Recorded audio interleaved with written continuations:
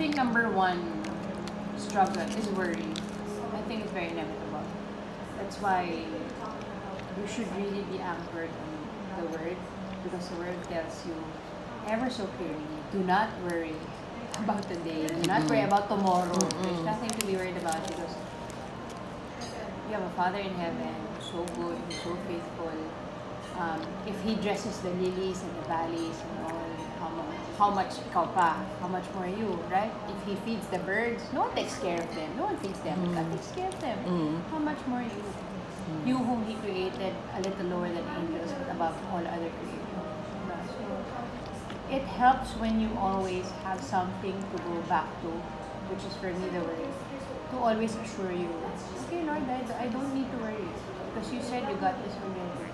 And it says, I will take care of you. Right?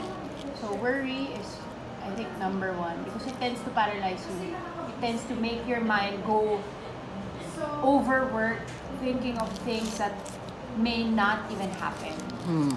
because you're so worried of this and that. It paralyzes you. It's a, it's a wrong kind of fear. But the only fear you should have is fear of the Lord. You fear, you fear the future, you fear tomorrow. And the antidote to that is to trust God and take it one day at a time.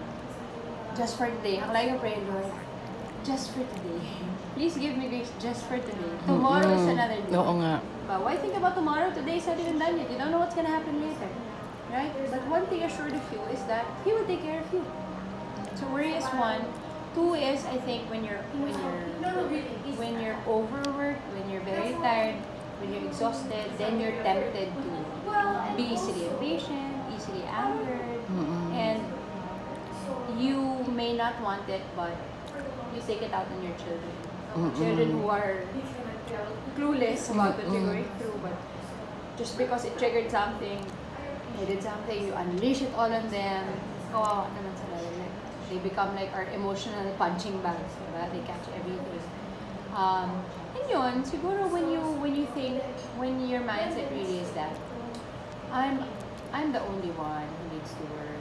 Puro me, it's just me.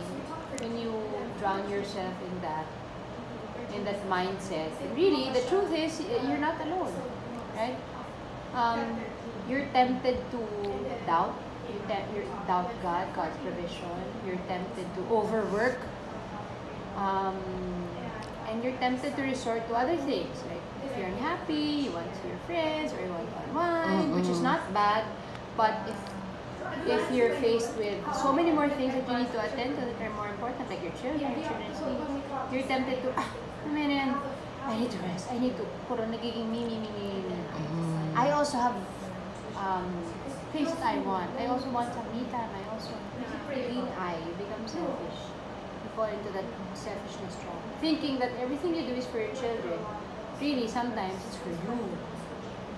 Yeah. So those are the those are the struggles. And siguro yun, yung you you desire for a partner, but not having the right reasons for it can make you lose heart and lose sight of what really is a partner should be for. Right? It's not like it's not having just someone work for you and put food on the table. It's not just that. Mm.